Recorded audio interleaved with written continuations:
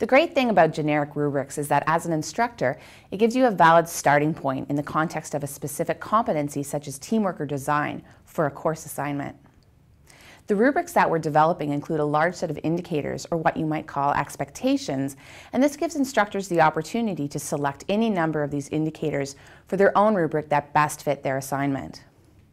In using a generic rubric, there's an opportunity to customize the rubric itself to better integrate the specific parameters of a course assignment.